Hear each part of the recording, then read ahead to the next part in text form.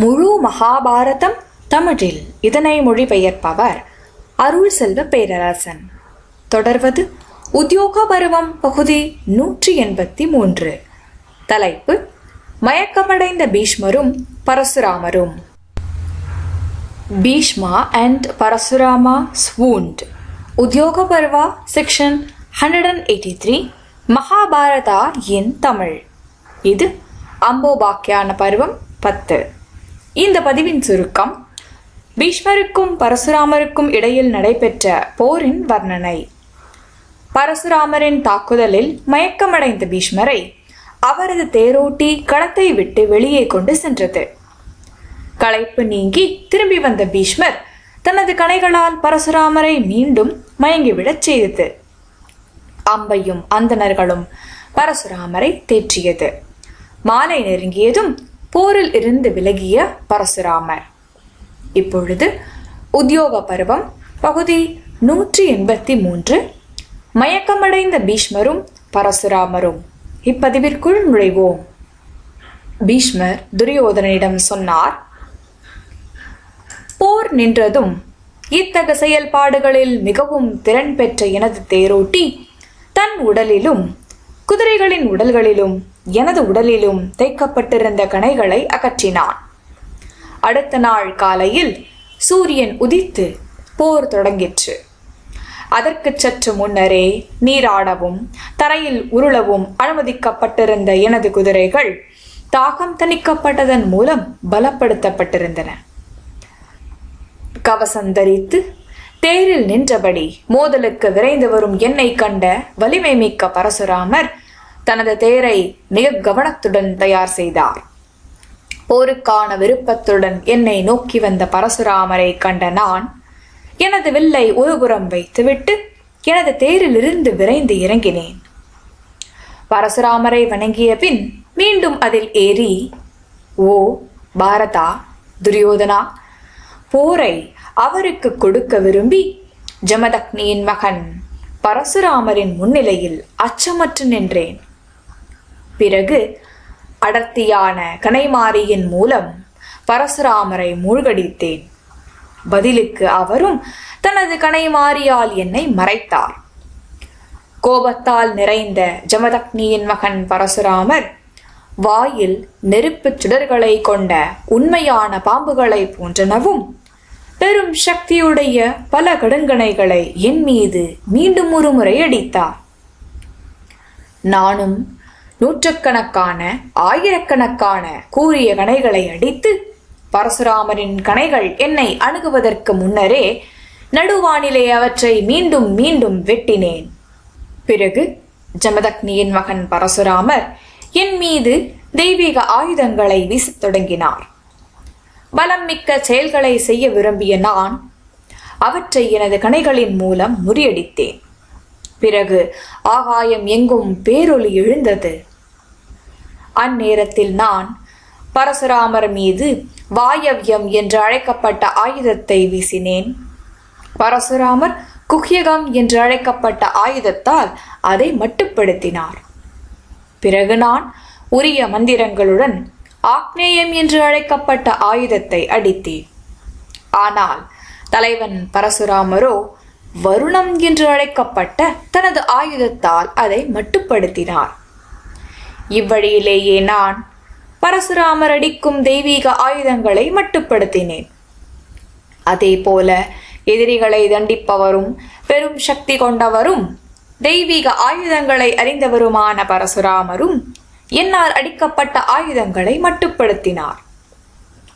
பிறகு அந்தணர்களில் சிறந்தவரும் வலிமை மிக்கவருமான ஜமதக்னியின் மகன் பரசுராமர் கோபத்தால் நிறைந்து திடீரென வலது பக்கமாக சுழன்று வந்து என்னை மார்பில் துளைத்தார். இதனால் எனது தேர்களில் சிறந்த அந்த தேரில் மயங்கிச் சாய்ந்தேன். உணர்விழந்த என்னை கண்ட எனது தேரோட்டி போர்க்களத்திலிருந்து என்னை விரைந்து வெளியே கொண்டு சென்றான். பரசுராமரின் ஆயுதங்களால் வீடிக்கப்பட்டவனாகவும் துளைக்கப்பட்டவனாகவும் வாடிப்போய் மூச்சையடைந்திருந்த என்னை கண்டவர்களும் அகிருதவர்ணருடன் கூடிய பரசுராமரின் தொண்டர்கள் அனைவரும் மற்றும் பிறரும் காசியின் இளவரசி அவ்வையும் மகிழ்ச்சியால் நிறைந்து உறக்க ஆரவாரம் செய்தனர். உணர்வை மீண்டும் அடைந்த நான் எனது தேரோட்டியிடம் பரசுராமர் எங்கிருக்கிறாரோ அங்கே செல்வாயாக. எனது வலிகள் என்னை விட்டு அகன்று விட்டன. நான் போருக்கு தயாராக இருக்கிறேன் என்றேன். இப்படி சொல்லப்பட்ட எனது தேரோட்டி சமவெளியில் ஆடிக்கொண்டு செல்வன போன்ற எனது மிக அழகான குதிரைகளின் உதவியால் காற்றின் வேகத்தில் என்னை பரசுராமரிடம் கொண்டு சென்றான்.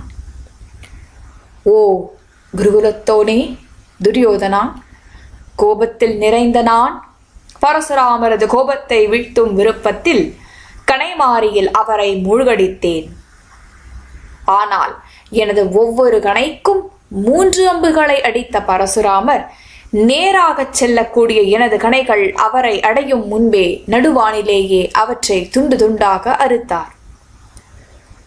நூற்றுக்கணக்கான ஆயிரக்கணக்கான எனது நல்ல கணைகள் பரசுராமரின் கணைகளால் இரண்டாக அறுக்கப்படுவதை கண்ட பரசுராமரின் தொண்டர்கள் அனைவரும் மகிழ்ச்சியால் நிறைந்தனர்.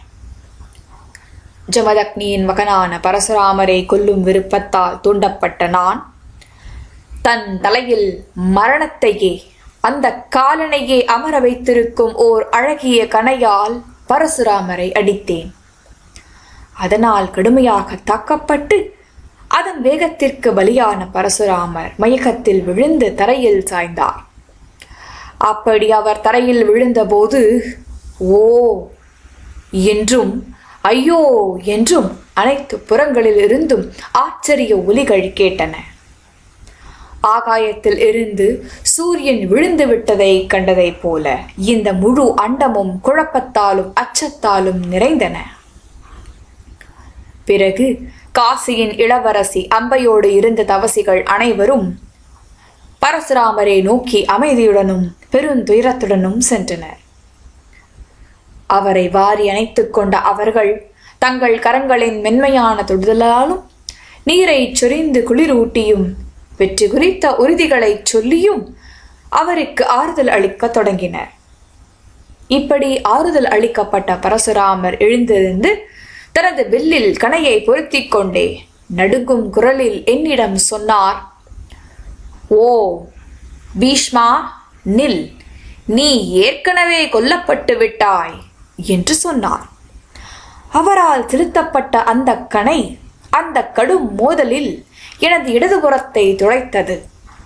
அதனால் தாக்கப்பட்ட நான் புயலால் அசைக்கப்பட்ட மரத்தை போல நடுங்கத் தொடங்கினேன். அந்த பயங்கர மோதலில் எனது குதிரைகளை கொன்று பெரும் நிதானத்துடன் போரிட்ட பரசுராமர் குறிப்பிடத்தகுந்த கரவேகத்துடன் அடிக்கப்பட்ட சிறகு படைத்த கணைகளின் கூட்டத்தால் என்னை மூழ்கடித்தார்.